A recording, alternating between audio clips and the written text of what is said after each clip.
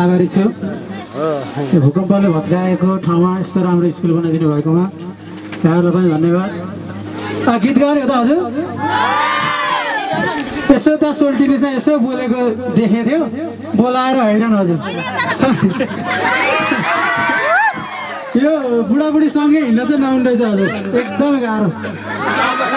है? म बिना ट्र्याकको एउटा दुइटा गीत गाउँछु मेरो पहिला चार पाँच वर्ष अगाडि वर्ष दिने भन्ने गीत बजारमा आएको थियो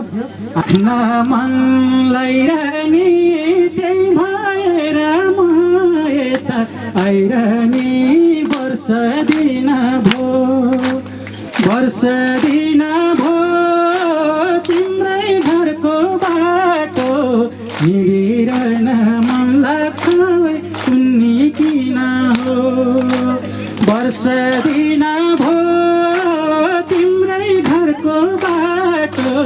हिँडिरहन मन लाग्छ कुन्नी किन हो? धन्यवाद। ल परेपछि त घरको बाटो हिँड्न मन लाग्दैन त।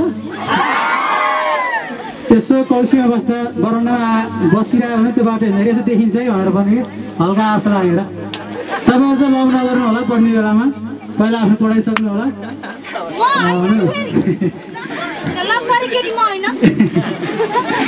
आफू चोरले मचोर कसैले भन्छ त? अहिलेको म त तिसको चाहिँ रिप्लाई उत्तर दिन्छु। देवीले भनिसक्यो। मेरो पनि भन्ने तालो आएको छ होइन। भन्नु पर्यो होइन दाजु? भन्छ है त। त्यो लामै छ हाम्रो कहानी म एक टुक्रा भन्छु। म पनि त गायक बन्न काठमाडौँमा पसे। म पनि त गायक बन्न काठमाडौँमा पसे सुख दुःख एउटा कोठा भाडा गरी बसे सुख दुःख एउटा कोठा भाडा गरी बसे बल्ल तल्ल दोरी साँझमा गाउने जागिर पाएँ पहिलो भेटमा के भो के हो देवी मन पराए। पाइला टेकेको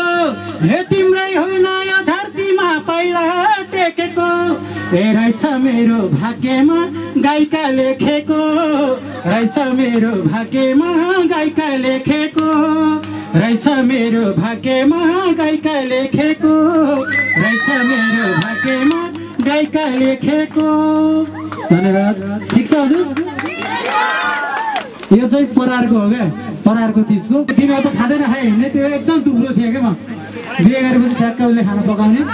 ठ्याक्क ए बुढालाई नौ बजी ए बुढालाई भात खाऊ अनि बेलुका ठ्याक्क सात बजी ए बुढालाई गर्दा यस्तो भात पेटिहाल्छ पकाउँछिन् बुढीले उठ्न बस्न मिल्दैन भुँडीले के गरेर हो? के गरेर हो? सुन के गरेर हो? पातालो ज्यान मेरो मुटाको बेगरेर हो।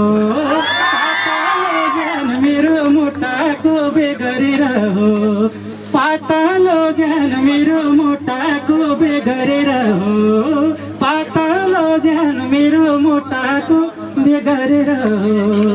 बुढीको माया मिठो मिठो खाएपछि नमोटार है। को मोटाउँछ त मर्नु यो गीत थियो। हाम्रो थुप्रै गीतहरू बजारमा आएको छन्। देवीले मैले गाएको। अहिलेको तिजको लागि पनि हामी तयारी गर्दैछौँ। त्यो नि टुक्रा सुनौ। त्यो चाहिँ भर्खर हाम्रो रेकर्डिङ हुँदैछ। गीत मात्र बनाएको छ। एक भण्डारीले बनाउनु भएको छ। केटीले भनेको थियो भन्छ है त बुढीले? माइतीले नौगेडीलाई दिए यही बुढाले हो बेचेर खाइदिए।